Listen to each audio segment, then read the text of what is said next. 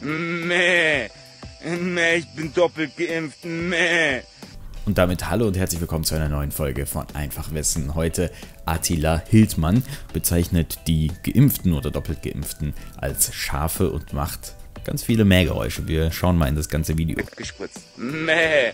Meh. Meh, ich bin doppelt geimpft. Meh. Man kann doch gar nicht das Wetter manipulieren. Meh. Warum sollten denn parallel überall die Internetseiten ausfallen? Meh.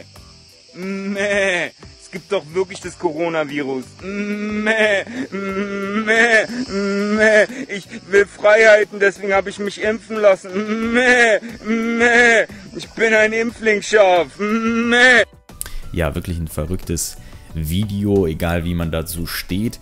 Das könnt ihr ja grundsätzlich sowieso jetzt mal unten in die Kommentare schreiben. Wie steht ihr natürlich zum Thema Impfung und wie steht ihr zum Thema Attila Hildmann? Findet ihr, hat recht? Findet ihr, hat einen Punkt?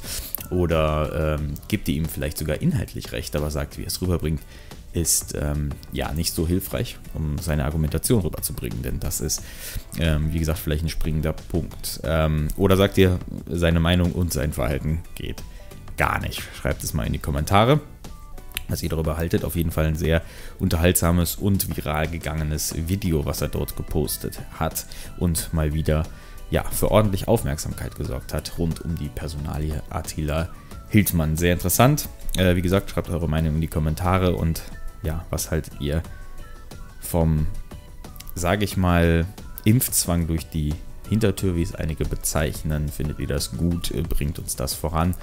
Oder ist das nicht so gut für Deutschland? Schreibt es in die Kommentare. Ansonsten sage ich bis zur nächsten Folge und ciao.